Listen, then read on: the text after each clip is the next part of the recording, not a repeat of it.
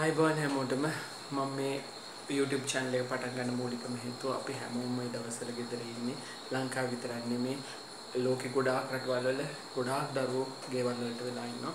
ඉතින් ඒ දරුවෝ ගොඩක් දෙනෙකුගේ අධ්‍යාපනය බොහෝ වෙලාවට පිට වැටලා තියෙන්නේ. ඉතින් ඒ දරුවන්ගේ අධ්‍යාපනය පොඩ්ඩක් හරි ඉහළට අරගෙන දෙන්න තමයි මේ උත්සාහය.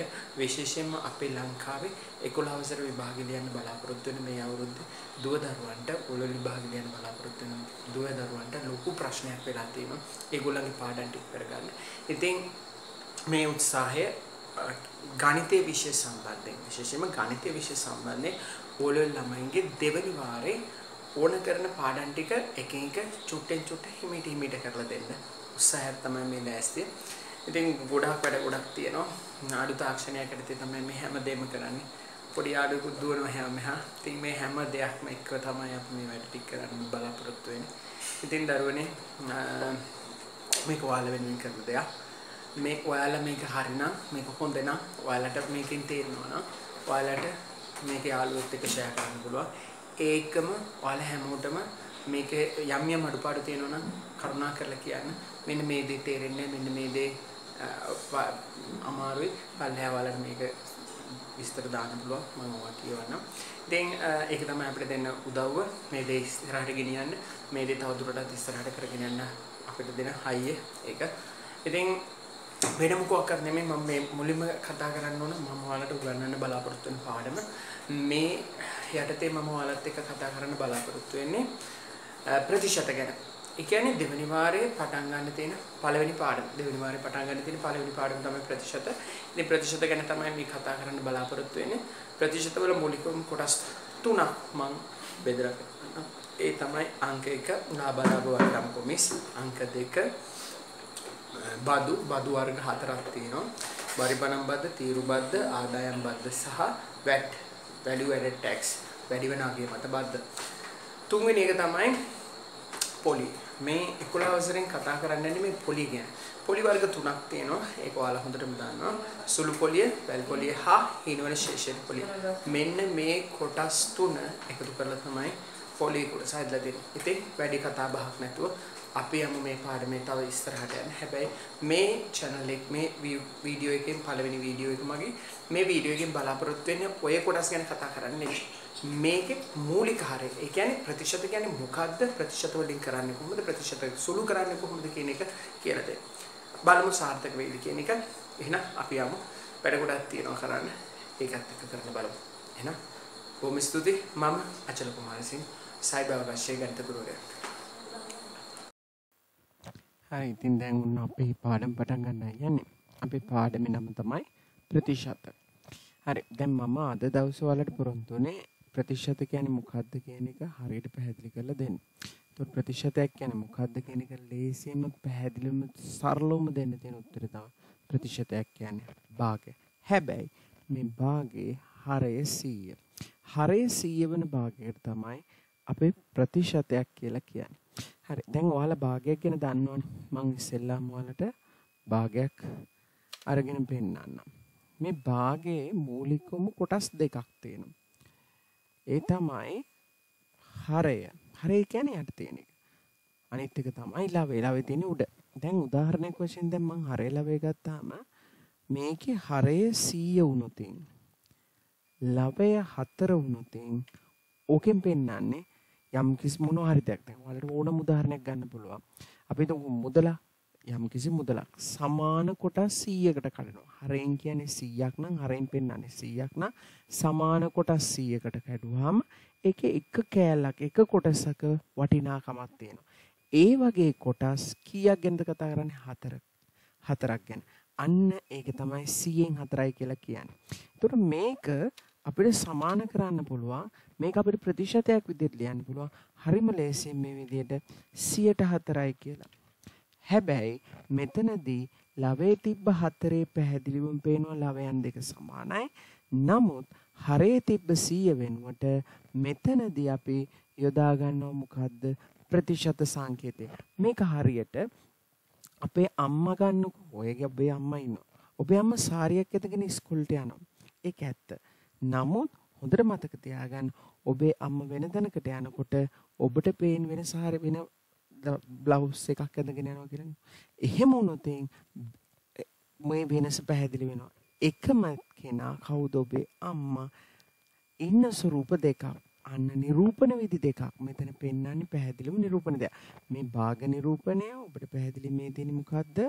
භාග නිරූපණය මේ තියෙන්නේ ප්‍රතිශත නිරූපණය. ප්‍රතිශත නිරූපණයේදී අපි යොදා ගන්න ප්‍රතිශත සංකේතය. එහෙමනම් ඔබට පැහැදිලි මෙතන කොටස් දෙකක් තියෙනවා භාග සහ ප්‍රතිශත. ඒතොර භාගයක් ප්‍රතිශතයක් කරන්න පුළුවන්. ඒ වගේම ප්‍රතිශතයක් භාගයක් කරන්න පුළුවන්. අපි මුලින්ම කතා කරමු හරේ 100 වන භාගයක් ප්‍රතිශතයක් බවට හරුණු විදිය. මේ හරිම සරලව මම මේ ඔයාලට පැහැදිලි කරලා දෙන්නේ. හරි. දැන් මෙතනින් ඔබට අවබෝධ වෙච්ච දෙයක් තියෙනවානේ. ඒ තමයි හරය 100 ප්‍රතිශතයකින් නිරූපණය වෙන්නේ හරය 100 වන භාග සංඛ්‍යාව. එහෙනම් අපි මේක දැන් භාවිතා කරමු. මේක භාවිතා කරන්න හරි සරල දෙයක් මම කතා කරන්නම්. මෙන්න රුපියල් රුපියල් 200කින් අපි කතා කරමු රුපියල් 200කින් භාග පිළිබඳ පොඩි අවබෝධයක් ලැබෙන්නත් එක්ක සරලව කතා කරමුකෝ. 10න් එකක්. හරි. 10න් එකයි කියන්නේ සමාන කෑලි 10කට කඩලා එකෙන් කොටස කවුද සමාන කෑලි 10කට කඩන්නේ? ආ මෙතන තියෙනවා රුපියල් 200 එහෙමනම් රුපියල් 200 සමාන කෑලි 10කට කඩනවා කියන්නේ රුපියල් 200 10න් බෙදෙනවා. එහෙනම් 210න් බෙදුවම ඔබට පැහැදිලි. 210 ගොඩවල් 10 ගොඩකට කැඩුවම එක ගොඩක 20ක් ඉතුරු වෙනවා. කීයක් ඉතුරු වෙනවද? 20ක්. එතකොට ඔයාලට මේක ලේසියෙන් කරන්න පුළුවන්. මෙතන තියෙන බිඳුවට මේ බිඳුව කපලා දාන්න එක. එහෙමනම් ඉතුරු වෙන්නේ කොච්චරක්ද? 20ක්. ඉතුරු වෙන්නේ 20ක් නම් ඒ 20 එක කොටසක් 20ක් නම් හරි. මෙතන කතා කරන්නේ එක කොටසක් නිසා කෙලින්ම අපිට උත්තරේ දාන්න පුළුවන් මේ විදියට සමානයි කොච්චරක්ද රුපියල් 20යි. පැහැදිලිනේ? හරිම ලේසි. දැන් ඔයාලට මේ කතන්දරේම පොඩි වෙනසක් එක්ක ගන්න පොඩි වෙනසක් එක්ක. මොකද්ද වෙනස? ඔන්න බලා ගන්නකෝ. 200කින් 10න් එකක්. ඒ වෙනුවට මම මෙතෙන්ට දානවා 10න් 3ක් කියලා. 10න් 3ක් කියන්නේ ද රුපියල් 200 සමාන කැලි 10කට කඩලා කොටස් 3ක්. ඒ කියන්නේ රුපියල් 200 සමාන කැලි 10කට කැඩුවාම එක් කොටසක ප්‍රමාණය රුපියල් 20යි. ඉස්සෙල්ලා අපි ඉගෙන ගත්තා. ඒ 20 කැලි 3 20 කැලි 3 කියන්නේ 60ක් වෙනවා. එන උත්තරේ වෙන්නේ කීයද? 60යි. මේක ගොඩක් ලේසි. ඔය දේම පොඩි වෙනසක් තව වෙනසක් කරනවා. ඒ වෙනස මෙහෙම. රුපියල් 200කින් මම මෙතන 10න් එක වෙනුවට කීයෙන් එකක් කරනවද 100න් එකක් කරනවා 100න් එකක් කිව්වම ඔබට දැන් පැහැදිලි 200 සමාන කෑලි 100කට කඩන්න ඕනේ. එතකොට එක කෑල්ලක ප්‍රමාණය රුපියල් 2යි. එහෙමනම් එක කෑල්ලක ප්‍රමාණය රුපියල් 2යි. එහෙනම් ඕක තව චුට්ටක් මම වෙනස් කරනවා. කොහොමද වෙනස් කරන්නේ? ඔම් බලන්න. රුපියල් 200කින් අපි 100 කරමු. හරි. මෙතන 100ට 3යි. කියන්නේ කොටස් 3ක්, කෑලි 3ක්. එහෙමනම් රුපියල් 200කින් 200 සමාන කෑලි 100කට ගැටුවම එක කෑල්ලක් රුපියල් 2යි. මෙතන එක කෑල්ලක් රුපියල් කීයද? 2යි. ඒ වගේ කොටස් 3ක් වෙන්න ඕන. ඒ වගේ කොටස් 3ක් කියන්නේ දෙකේවත් 3ක්. මම මෙතන ලියන්න දෙකේවා කොච්චරක්ද 3ක්. දෙකේවා 3ක්. නම් උත්තර එනවා සමානයි. කීයද ළමයි? හරිම ලේසි. රුපියල් 6ක් උත්තරේ ගන්න පුළුවන්. ඒතර මේකේ කෑල්ලක් වැඩිපුර වෙනවා. කොටස් ගන්න එක කොටසක ප්‍රමාණය හෙව්වා. ඒ එක කොටසක ප්‍රමාණය හෙවීමෙන් අපිට කොටස් ඊළඟට අවශ්‍ය ප්‍රමාණය කොටස් ප්‍රමාණය හොයාගන්න පුළුවන්. දැන් මෙන්න මේ කතාව තව චුට්ටක් ඇඩ්වාන්ස් වෙමු. කොහොමද මේක තව චුට්ටක් ඇඩ්වාන්ස් වෙන්නේ? රුපියල් 200කින්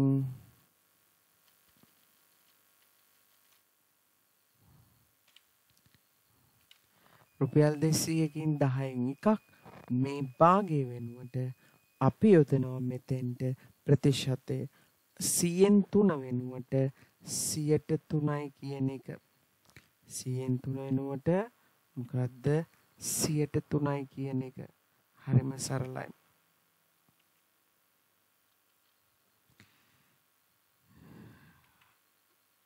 සියෙන් තුන වෙනුවට මොකද්ද අපි යොදන්නේ? ප්‍රතිශත සංකේතය. 3යි ප්‍රතිශත සංකේතය.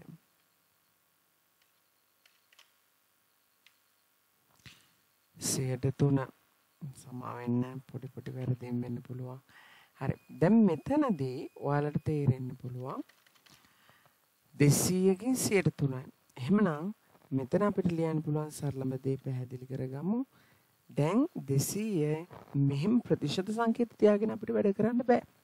මේ විදිහට ප්‍රතිශත සංකේත තියාගෙන වැඩ කරන්න බෑ. එහෙනම් ඒක භාගයක් බවට හරවන්න ඕන. කියන්නේ මේ පියවරට හරවන්න ඕන. එහෙනම් ලේසි 200 අපි මොකද කරන්නේ? වැඩි කරනවා කාගෙන්ද? සියට තුනෙන් සියට තුන වෙනුවට අපිට ලියන්න පුළුවන් මොකද්ද? භාගේ මොකද්ද? යටට 100 දැම්මා. සියට තුනේදී උඩට තුන දැම්මා. එහෙනම් දැන් උත්තරේ ඔයාලට තේරෙනවා. කීයද උත්තරේ? හරිම සරලව ලියන්න පුළුවන් උත්තරේ. කීයයි කියලාද? රුපියල් කීයයි කියලාද? 6යි කියලා. ඇයි? රුපියල් 6 උනේ කොහොමද? දෙසිය සමාන කෑලි සීකට ගැඩුවම් එක කෑල්ලා දෙකක් එනවා. ඒ රුපියල් දෙක තුන වැඩි කළාම දෙවරක් තුන රුපියල් 6යි. ඉතින් මේ කොටස හරිම ලේසි. මේකෙන් ඔබ ඉගෙනගත්තු ප්‍රධානම කාරණේ තමයි කොහොමද ප්‍රතිශතකයකින් නිරූපණය වෙන කොටස පෙන්වන්නේ. ඔන්න ඕක බොහොම වැදගත් දෙයක්. ඉතින් මේකෙන් අපිට ගොඩක් ගණන් හදන්න පුළුවන්. ඒකම දැන් ප්‍රතිශතයක් වශයෙන් දීලා තියෙන දෙයක්. ඒතකොට ප්‍රතිශතයක් වශයෙන් දීලා තියෙනවා ඒක භාගයක් බවට හරවන්නේ කොහොමද? ඒ භාගය බවට හරවලා ඒ කොටස හඳුනගන්නේ කොහොමද කියන එකත් වැදගත් ඉගෙන ගන්න. හරි බොහොම ස්තුතියි. එහෙනම් අපි ඊළඟ කොටසට යමු. අපි දැන් භාගයක් ප්‍රතිශතයක් බවට හරවන හැටි ඉගෙන ගන්නයි යන්නේ. එතකොට අපිට දීලා තියෙන ඕනම භාගයක් ගත්තයින් පස්සේ ඒ භාගයක් ප්‍රතිශතයක් බවට හරවන්න හරිම ලේසියෙන් මේ විදිහට කරන්න පුළුවන්. අපි ගමු මේකේ හරය සහලව ඔබට තේරෙනවා. හතරෙන් එක කියන භාග සංඛ්‍යාව. මොකද්ද? හතරෙන් එක කියන භාග සංඛ්‍යාව ගත්තාම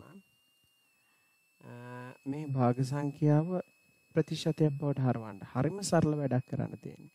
ඒ සරල වැඩේ තමයි මෙතන කරන්න තියෙන ඉතාම සරල වැඩේ. මේ හරයයි ලවයයි දෙකම 100%න් වැඩි කරන එක. මොකෙන් වැඩි කරන එකද 100%. මම ලියලා පෙන්නන්න. ඒකට ඔයාලට බොහොම ලේසියෙන් තේරුම් ගන්න පුළුවන්. වැඩි කිරීම 100ට 100 ප්‍රතිශත සංකේතය උදන් විතරයි තියෙන්නේ. ඒකට මේ 100%න් වැඩි කරද්දී 100 තියෙන්නේ හර ලවයේ වශයෙන්.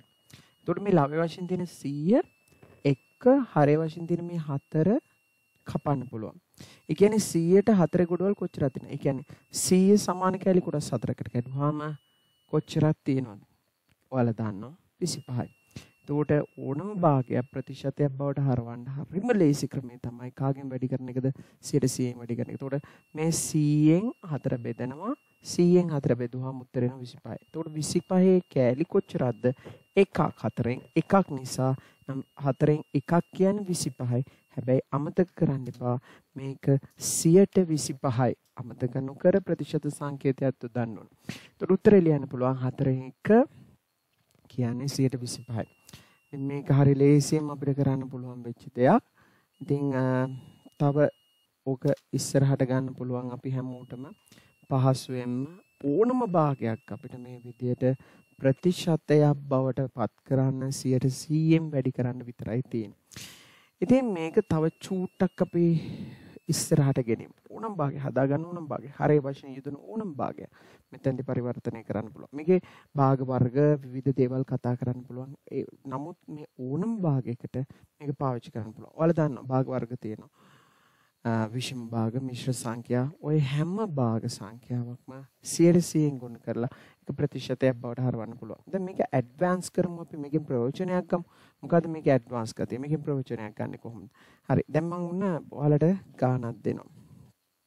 රුපියල් 20කට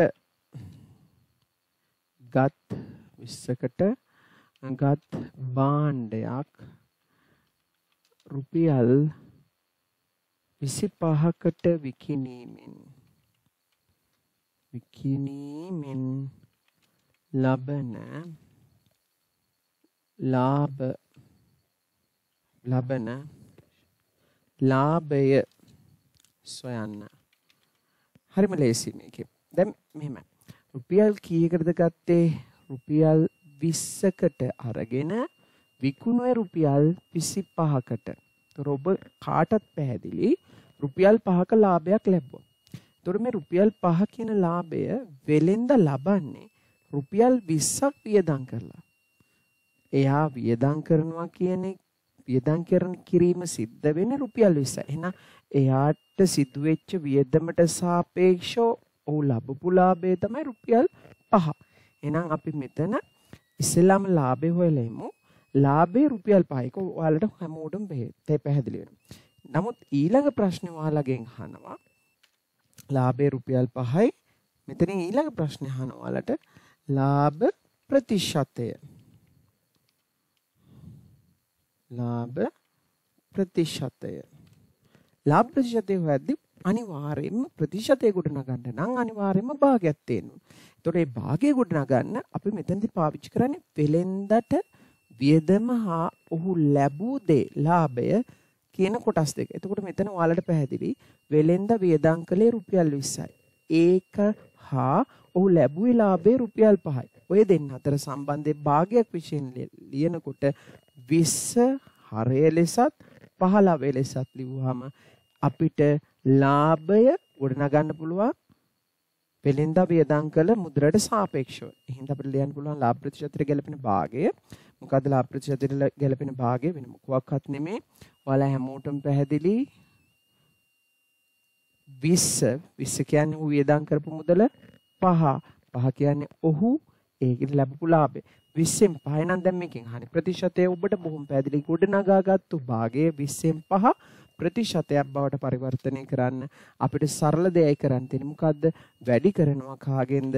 100ට 100න් ප්‍රතිශත සංකේතය දාන්න 100ට 100න් ප්‍රතිශතයෙන් වැඩි කරනවා එතකොට ඔයාලට පේනවා අපිට පැහැදිලි 20ට 100 කොච්චරද 5යි 20ට 100 100ට 20 ගොඩවල් 5යි 5 වරක් 5 25යි එහෙනම් උත්තරේ ලැබෙනවා කීයද? 25යි ප්‍රතිශත සංකේත අමතක කරන්න. මෙතනදී සුළු කිරීමක් සිද්ධ වෙන්නේ නැත්තේ ප්‍රතිශත සංකේතයත් එක්ක. ප්‍රතිශත සංකේතයත් එක්ක කවුරුත් කැපෙන්නේ නැහැ. යට තියෙන හරේ තියෙන 20 කැපෙන්නේ 100ත් එක්ක. හරි. දැන් ඔයාලට මේ කියලා දීපු දේත් එක්ක ගොඩ දෙයක් නිර්මාණය කරගන්න පුළුවන්. පළවෙනි වැදගත්ම දේ තමයි ඔයාලා ඉගෙන ගත්ත ප්‍රතිශතයකින් ප්‍රයෝජන දෙකක් ඉගෙන ගත්තා. ඒ ප්‍රතිශතයෙන් ඉගෙනගත් ප්‍රයෝජන දෙක තමයි එකක් තමයි ප්‍රතිශතයෙන් නිරූපිත ප්‍රමාණය සොයන්න. දෙවැනි එක තමයි ප්‍රතිශතයේ ගොඩ නැගීම.